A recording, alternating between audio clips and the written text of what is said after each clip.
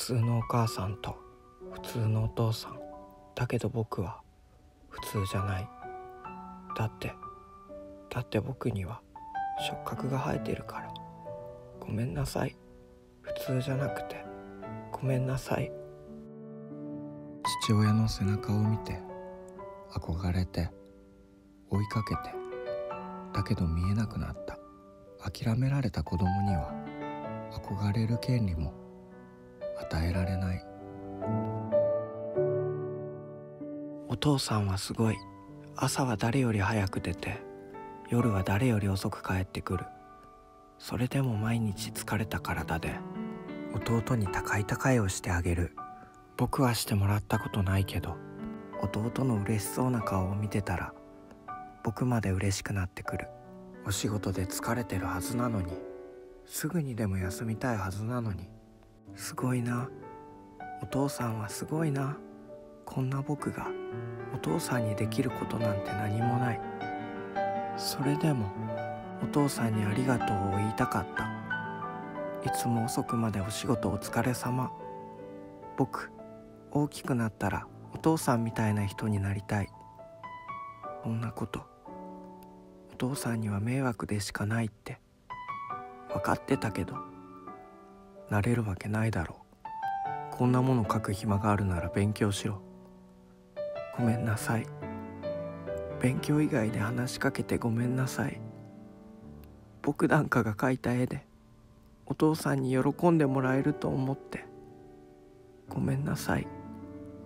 僕なんかがお父さんに憧れてごめんなさい。お父さんになりたいなんて笑わせる。ありがとうなんて笑わせる。またあの子のことで泣いてるのか？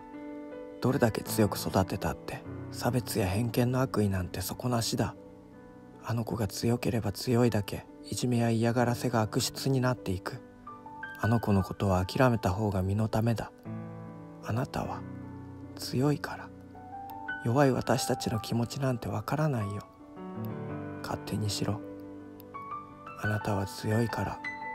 か。毎日思い出す。あの子の触覚を受け入れ嬉しそうに見せてくる君を。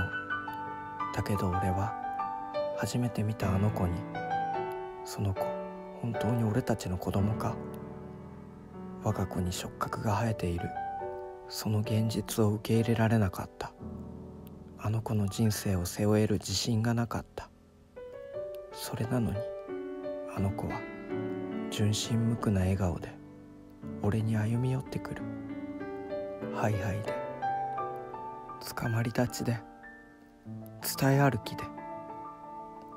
逃げても隠れても突き放しても何度も何度も歩み寄ってきた。あんなことを言った俺に父親の資格なんてないのにあの子のことが愛しくてたまらない。もう遅いのに。あの言葉は消えないのに。こんなに弱くて情けない俺にありがとうなんて言うな。お父さんみたいになりたいなんて言うな。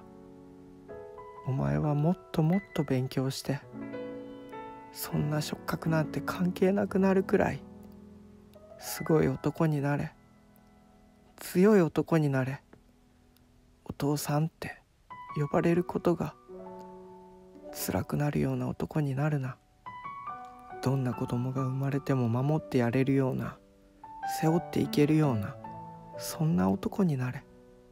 ごめんな。情けないお父さんで。ごめんな。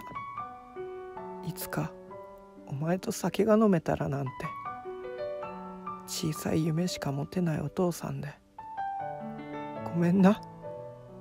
俺みたいになれって。言ってやれなくて。ごめんな。